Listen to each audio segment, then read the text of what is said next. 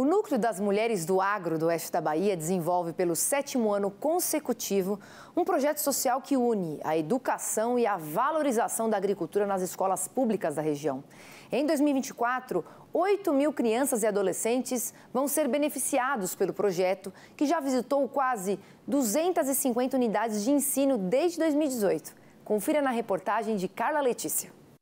A movimentação começa cedo na escola, que se agita para receber a comitiva liderada pelas mulheres do agro. Todos os alunos do ensino fundamental participam do momento que se traduz em diversão e aprendizado. Eu amei, eu achei muito lindo que fez ela. E o que, que você acha que pode ser feito mais com algodão? É umas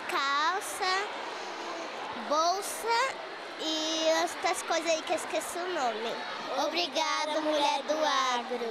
Nós trabalhamos com Fundamental 1 e Fundamental 2. Desde a importância do agro, no oeste da Bahia, que é de extrema importância os alunos entenderem esse marco que é o agronegócio, o agro, não só o negócio em si, mas o agro como meio ambiente, como necessidade, como instrumento de valorização. Esta escola tem 1.052 alunos e mais de 100 funcionários. E todos estão sendo envolvidos desde o início do ano nas atividades do projeto, que incluem trabalhos pedagógicos dentro e fora de sala de aula e apresentações culturais.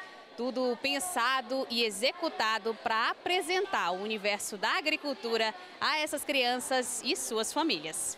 Nós visitamos algumas escolas aonde eles têm retratado não só a produção agrícola, mas também as questões de preservação do meio ambiente, né? a, a preservação de nascentes, de rios. Os alunos estarão indo visitar as propriedades agrícolas, estarão visitando é, as culturas, né? toda a agricultura é valorizada, tanto a agricultura empresarial como a agricultura familiar.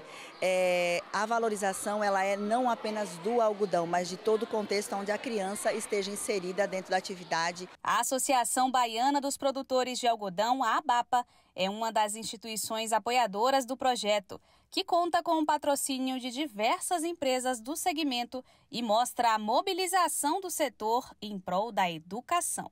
A informação, a informação sobre o local que elas vivem, a informação sobre é, o que elas podem ser aqui, né, nessa terra, conhecendo sobre o agro, o futuro que elas têm aqui, sobre pertencimento, sem dúvida é um impacto muito grande. Meu filho é, podendo estar mais conectado né, com esse projeto, isso é um desempenho que vai abrindo a mente dele e dando norte para ele também, podendo exercer o cargo futuramente.